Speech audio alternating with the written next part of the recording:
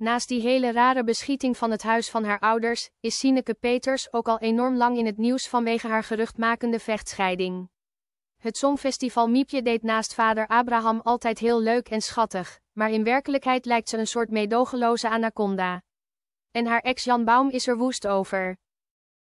Jan waarschuwde aan het begin van de lente al dat er een filmpje is waarop Sinekes ontrouw zou blijken en nu, vijf maanden later, heeft Weekblad Privé die in handen.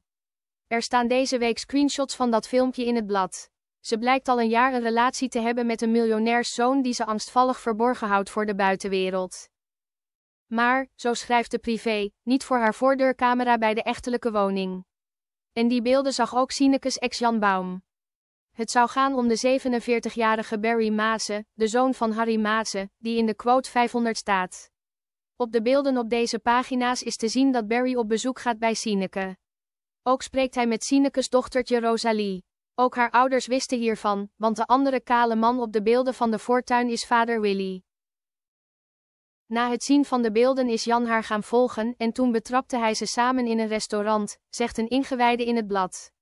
Sineke zou ook voor Barry zijn vreemd gegaan. Nee, Sineke is niet dat nette zangeresje dat we allemaal van televisie en optredens kennen.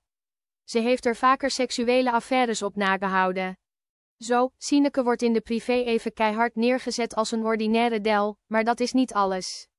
In de familie wordt nu al voorzichtig gesuggereerd dat Sineke Goldigger neigingen heeft, vervolgt de bron. Lachend wordt er dan gezegd dat de familie nu ook een Sylvie-meis heeft. Dat klinkt hard, maar Sineke staat wel heel erg stoïcijns in de afwikkeling van de scheiding. Ze wekt bepaald niet de indruk dat ze verdrietig is.